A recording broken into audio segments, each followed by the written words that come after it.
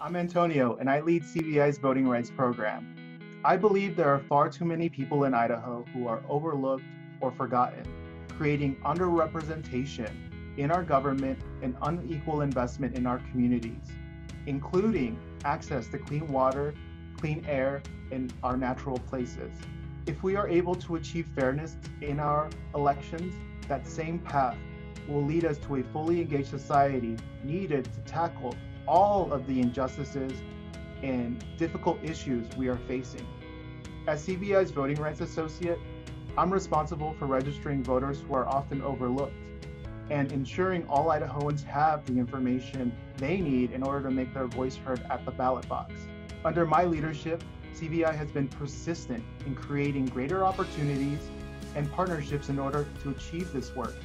Just this spring, we registered over 250 high school students in Nampa. We didn't simply hand out voter registration forms and collect them. We formed partnerships with government teachers, created a hands-on workshop on the importance of voting, and created digital tools to keep students connected and gave young people a reason to vote.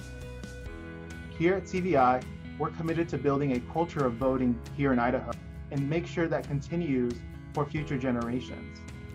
I have also led CVI's work here in Idaho for the 2020 census. After being asked to take on the leading role with Latinx led organizations, we established a complete count committee called Contamos to ensure Idaho's hard to count Latinx populations are represented in the 2020 census. CVI has been a major leader and contributor to our state's census efforts, building strong community partnerships and, and creating lasting impacts despite the ongoing challenges due to COVID 19.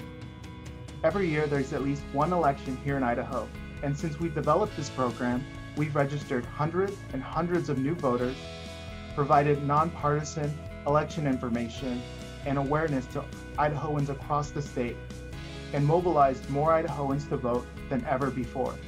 This work would not be possible without Conservation Voters for Idaho. Please join me in becoming a member today.